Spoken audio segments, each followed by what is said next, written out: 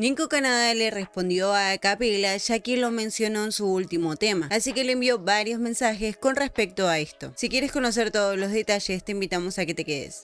280, perdona por lo dicho y dile a Nico Canadá que me puede mamar el bicho. Hola a todos, ¿cómo están? Mi nombre es Vane y les doy la bienvenida nuevamente a otro video más de las noticias del género. Y bueno, ahora sí, como escucharon en la intro del video, vamos a hablar de lo que está pasando entre Nico Canadá y Acapela. Como sabrán, o por si no sabían, Acapela ayer estrenó el tema Elisir, un tema que tiene varias pullas para varias personas. Y una de ellas fue Nico Canadá, ya que Acapela en el tema tiró un verso de A Nico Canadá que me puede mamar el a todo esto, Nico Canadá obviamente le respondió a Capela, ya que desde hace tiempo es que Nico Canadá y Acapela tienen diferencias por el rap. Así que vamos con la respuesta de Nico Canadá. En un live que realizó le dijo varias cosas a Acapela, como por ejemplo un saludo a Acapela que parece ser de la comunidad LGBT y por tenerme presente en su mente mamándole el beat. Veamos. Mandenle un saludo bien especial a la comunidad LGBT y quiero mandarle un saludo a Capela que parece que es de esa comunidad porque yo estoy de vacación y me tiene en la mente mamándole el bicho. Aparentemente él es homosexual, lo cual no es malo y no se lo juzgo.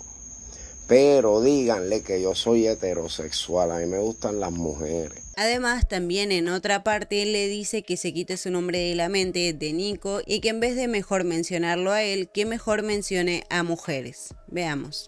Y cuando estés escribiendo, escribe de otra cosa, de mujeres, no me, no me, no me tiras piropo.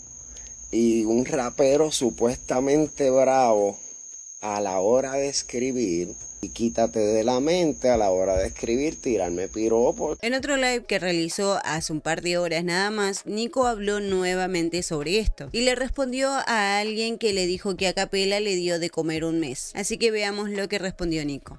A Capela te dio de comer un mes antes de que a Capela me tiraba. Yo tenía un montón de casas y 60 mil jodiendas.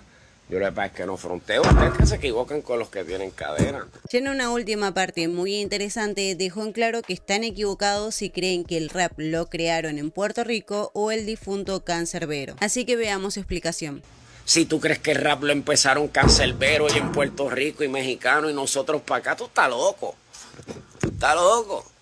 O sea, el que no estaba vivo hace 30 años y no rapea en inglés y no lo entiende lo que están diciendo, tal garete. Y bueno, esto fue un breve resumen de las palabras que tuvo Nico Canadá en respuesta a la mención que le hizo a Capela en su nuevo tema Elisir. ¿Qué opinas? ¿Estás de acuerdo con lo dicho por Nico Canadá o eres tema Capela? Y bueno, sin nada más que decir, los invitamos a que nos dejen sus comentarios acá abajo que los estamos leyendo. No se olviden de dar like y suscribirse para apoyar nuestro contenido. También pueden seguirnos en nuestras diferentes redes sociales. Nos vemos en la próxima.